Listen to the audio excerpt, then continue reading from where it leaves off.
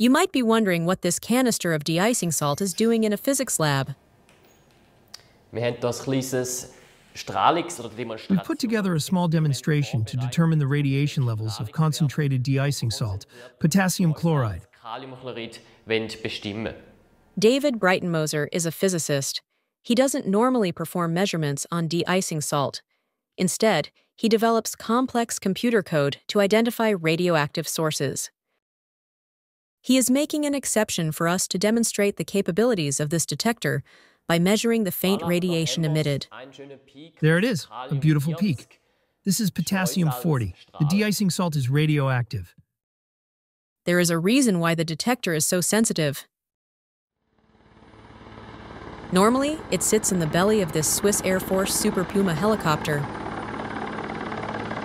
Every year, the helicopter flies across Switzerland, measuring background radiation levels, for example, and monitoring the environment around nuclear facilities.